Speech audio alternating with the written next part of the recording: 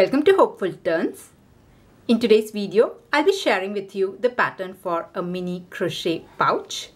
Now you can use this pouch as a coin pouch or as a pouch for your AirPods. Uh, you can even use it as a bag charm. So it's a very versatile pouch pattern. You can customize it to any size that you want. So if you want this pouch to be a little bit bigger, wider, you can totally do that. I will walk you through all the steps that is required to make the pouch of the size that you are looking for. So let's see the supplies first and then we'll start with the pattern. Now for the supplies here, you can use any weight yarn or any type yarn you have at hand. I have used a 100% acrylic yarn. It's a medium 4 weight yarn. And with that, I have used a 4.5 mm crochet hook. I have used one hook size smaller than the recommended one because I wanted the stitches to be a little bit tighter so that this entire pouch is a bit stiff. So I have used a smaller hook size than the recommended one. Apart from that, you would require a pair of scissors, a yarn needle to weave in all the loose ends, and two stitch markers. Now, instead of stitch markers, you can use bobby pins or safety pins. So these are the supplies that you would require. Now, if you're looking for other crochet bag patterns or pouches, I do have quite a few on my channel. So I have put a playlist link in the description box. If you're interested, do check that out. And if you're new to my channel, please do consider subscribing. And if at any point in the video you like what you see, please do not forget to press on the like button. So let's get into the tutorial. So we'll start this pattern with a slip knot. So make your slip knot first. And once you have that, I'm going to make 12 chain stitch. Chain 12. So 1, 2, 3, 4, 5, 6, 7, 8, 9, 10, 11 and 12. Okay, so here I'm going to start with 12 chain stitch and this will be the width of the pouch. Now if you're looking for a much wider pouch, you can increase the number of chain stitch. Alright, so once you're done with your chain stitch, we'll start round 1. And for round 1, we are going to skip the very first chain stitch and make a single crochet into the second stitch from the hook. So make a single crochet into the second stitch from the hook. And if you are a beginner please mark the first stitch. If you are not a beginner you can identify the first stitch. No need to mark it. But I'm just marking it just so that there is no confusion. So I have marked the first stitch. Now I'm going to go ahead and put a single crochet till I reach the very last stitch. So keep making a single crochet till you reach the very last stitch. So I'm just going to make one single crochet in every stitch.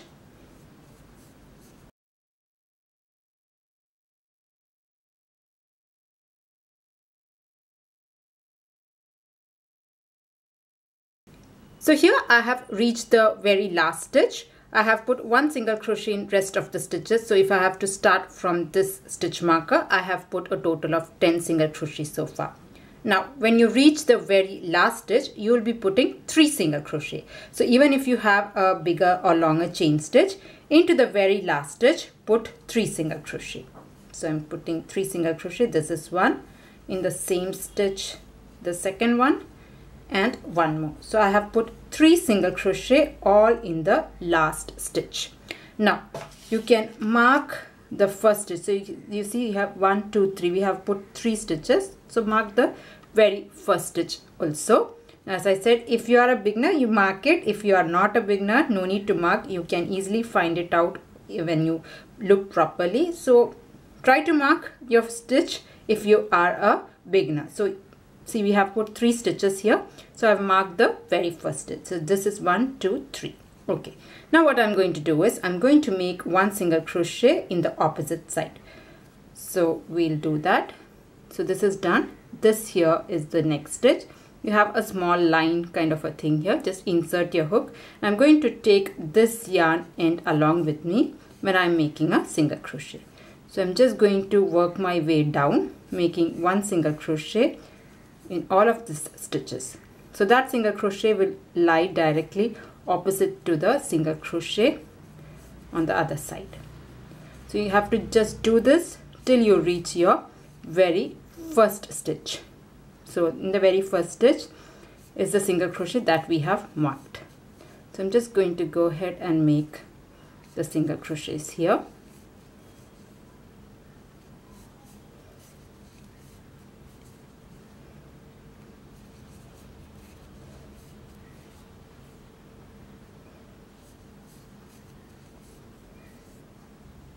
So here I have worked up one single crochet in the opposite side also. So this three other these three single crochet goes in the very last stitch and after that if I have to count I have put nine single crochet. Now I have reached the very first stitch. So very first stitch is where this is going. So that is here this point. So into the very first stitch I'm going to put two single crochet. So make two single crochet into the very first stitch of this round. Like this. Now you can take your stitch marker out and in that place you can slip stitch. So that will complete round one. So this is how your round one will be. So basically what we have done is we have put three single crochet in the very first stitch and three single crochet in the very last stitch. So irrespective of your chain stitch number you will put 3 single crochet in the very first stitch, 3 single crochet in the very last stitch and 1 single crochet on either side of your chain stitch. So that is how your uh, round 1 will be and round 1 will have double the number of single crochet as your chain stitch. So I had started with 12 uh, chain stitch and once you finish round 1 you should have 24 single crochet. It should be double. So let's start round 2. Now I'll explain round 2. So what we are going to do is if you see here these are the three chain stitch uh, three single crochet that we had put in the last stitch. So in these three single crochet we will make an increase. So we'll put two single crochet here, two single crochet here and two single crochet here. In rest all of these stitches we are going to put one single crochet only and also here. So this is the first stitch, this is the second stitch and this is the third stitch. So in the first uh, stitch also we have put three single crochet. In each of these three single crochet we are going to put uh, an increase. That is we'll be putting two single crochet. So let's start. So we'll start with one chain stitch and this will not be counted as any stitch. And into the very first stitch same stitch I'm going to start with an increase. So I'll put two single crochet here. One and one more 2 so I'm going to start with an increase and I'll just mark the stitch here. So this will be where we have to end. All right. Next what I'm going to do is I'm going to put one single crochet in each of these stitches till I reach my stitch marker. So I'll do that. So I'm going to go ahead and make one single crochet in each of these stitches till I reach the stitch marker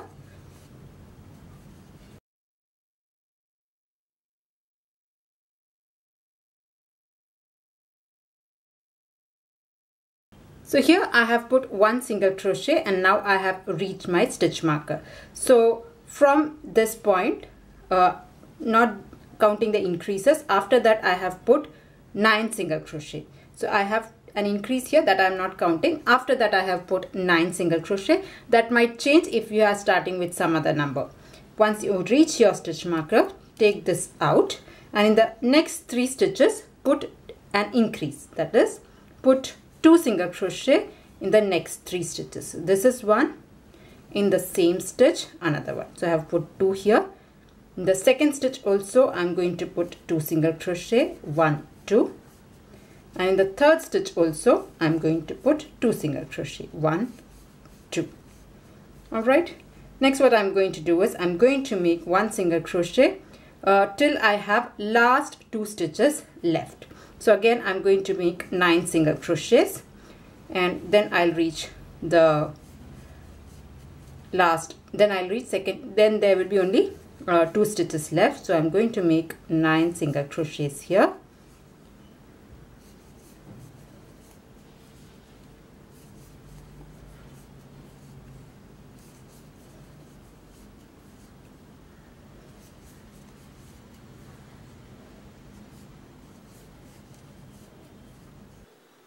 So here I have put 9 single crochet again. I have the last two stitches left. So into the last two stitches I'm again making an increase. So I'm going to put two stitches. So one two. So this was the second last stitch and this here is the very last stitch. So here again I'm going to put two single crochet like this. So this is the end of round 2 this is your chain one. You just ignore that. Just take off your stitch marker and go right into the first stitch and slip stitch. So that will finish round 2 now once you finish round 2 uh, you should have a total of 30 single crochet. Now if you're starting with some other stitches round 1 will have uh, the double the single crochet as your starting chain stitch. And round 2 you just have to add 6 more to it. So for my case it was 24 single crochet in round 1 and plus 6 that is 30 single crochet in round 2 so that is how you can customize this pattern if at all you're making one. So the base is done now we'll start moving up. Now what i'm going to do is from here the pattern is very simple. You're just going to put one single crochet in every stitch. So we'll start that.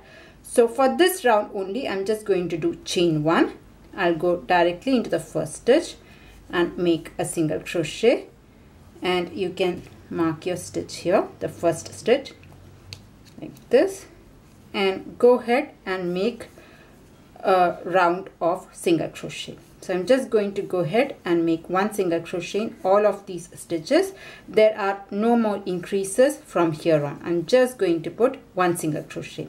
And once you complete round 3 you should have a total of 30 single crochet so I'll complete this round so here I'm at the end of round 3. I have put one single crochet in all of these stitches and I have now 30 single crochet and if you see here it has started to fold up so I'll just keep it like this.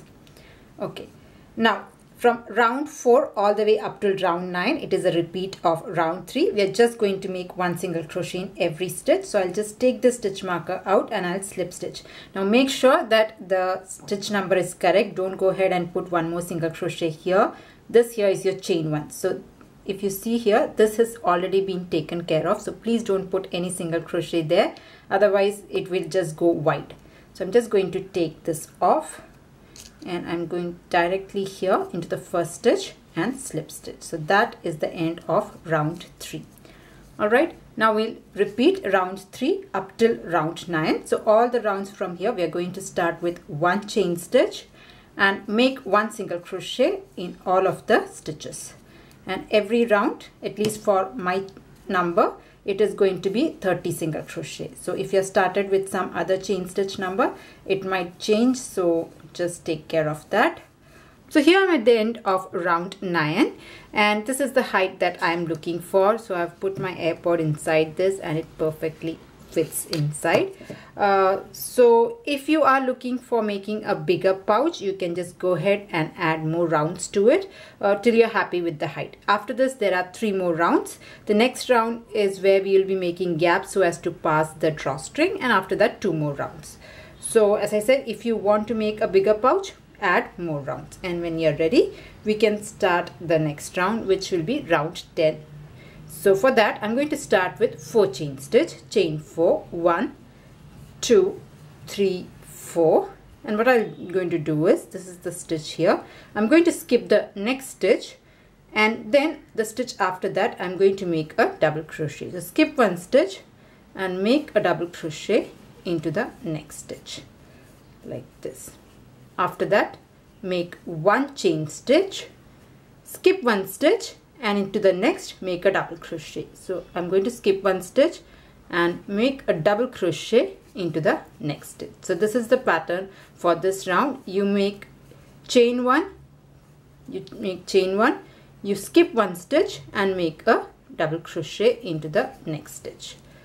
So skip one, chain one and a double crochet is the pattern for this round and you'll get this kind of gaps. So I've made a double crochet, you chain one, you skip one stitch and then make a double crochet. Like that you can just go ahead and repeat the pattern and I'll join you at the end of this round. You make you chain one, you skip one and make a double crochet.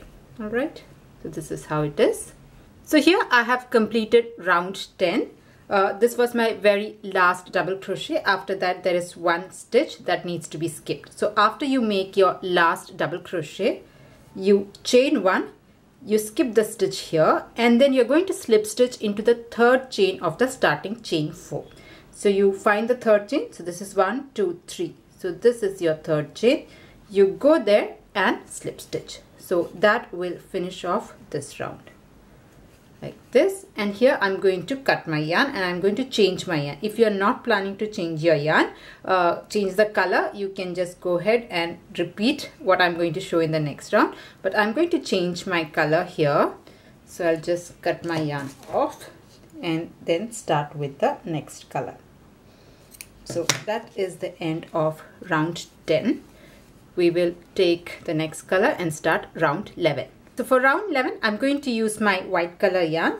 I'll again start with a slip knot and I'm going to attach it to this piece here. You can attach anywhere, but I'm just going to start right here.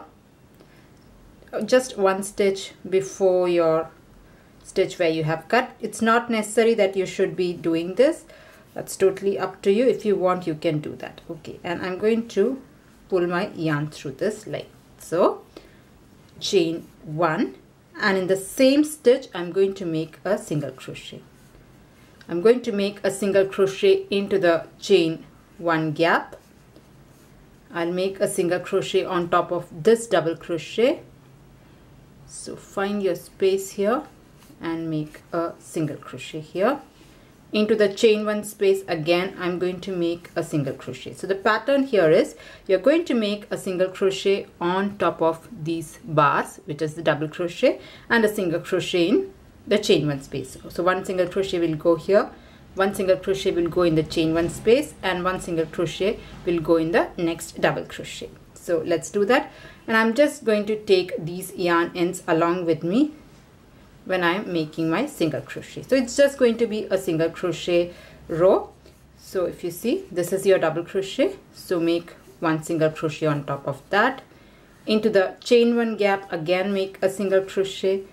Into the next double crochet, again make a single crochet. Like that, you can just go ahead and repeat the pattern, making a row or a round of single crochet. So here I'm at the end of round 11. I have just put a round of single crochet. So this was my very last single crochet and in order to finish off this round, I'm going to slip stitch into the first single crochet. If you see here, this is your chain one. Just skip that. Find the first single crochet of this round and slip stitch. So that will complete round 11. Now we have just one last round left. And in that I'm just going to make one single crochet in each of these stitches. All right? It's a very simple round. Start with chain one. Into the same stitch make a single crochet. And go around this making one single crochet in each of these stitches. So I'll just complete this round so here I have completed round 12 I have put one single crochet in every stitch and you should have a total of 30 single crochet. Now in order to finish this, just skip the first starting chain one, find the first single crochet of this round and slip stitch. So that will finish round 12 and I'm going to cut my yarn here. So the pouch is done. Now all you have to do is to hide in the loose ends. So I'm just going to use a darning needle and hide in the loose ends. And then we'll make the strings. So here I have hidden in all the loose ends and our pouch is ready. Now for the drawstring here I have made a long chain stitch. So what I have done is I have put a slip knot and then made about 85 chain stitch. So this is what is going to be our drawstring. Uh, and I'm just attached a yarn needle here and I'm going to pull this string across the gap round. All right? You can use your fingers uh, with this but I prefer this one. It works faster. Now this drawstring bag here or the pouch here is more like a bag charm. So that is why the way the drawstrings are placed is a little bit different. Uh, but if you're looking for a drawstring that opens and closes from the sides I have a tutorial on that as well. So I'll put the link for that tutorial in the description box. So here the drawstring is placed a little bit differently. Okay so I have gone around this but I'm just going to go once through this as well so that I'm going to make a small bow. So I want the bow to be at the very center. I think my yarn got split so I'm just pulling it like so. I'll take this off. Now I want to make a bag charm so I'm going to pull this out. So what I'll do is I'll just loosen it so that I have some string here. So this I'm going to make as a small bow so just adjust it. So this is where your bag will be hung uh, the pouch will be hung on the bag this loop. And here with these two ends I'm going to make a small bow.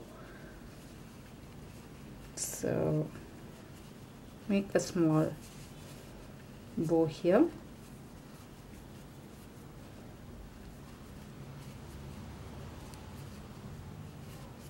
okay I just neaten this up. It's a bit of a mess. So here I have tidied up the bow and also cut up the excess yarn that was hanging. So you can use this particular loop here to close this and you can just pull on this to open this up so yeah, that was a tutorial on how to do this simple crochet pouch. I hope you liked it. I hope you enjoyed making it. Now, if you liked it, please do not forget to press on the like button. And if you're new to my channel, please do consider subscribing. If you're looking for other crochet pouches, bags, all of that, I have put a playlist link in the description box as well as on the end screen that is coming up. So that's it for today's tutorial. See you in another video. Until then, bye-bye. Thank you for watching.